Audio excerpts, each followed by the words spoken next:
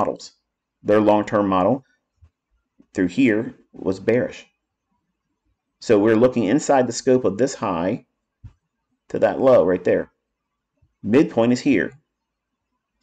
That shaded area in orange, I'm assuming it's a hue of orange, but that shaded area, that's the weekly inversion fair value gap, that's the first level of my interest.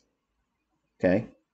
So this specific weekly point of interest, I gave you the context as to what I want to see with it. It wants to go higher, great.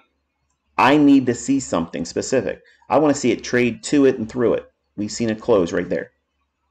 If a market closes above a fair value gap that you think should be bearish, that's not a good shorting opportunity. Many times it's communicating to you that it will become an inversion fair value gap. oh, there you go. The penny just dropped. I just gave you something again. But if you're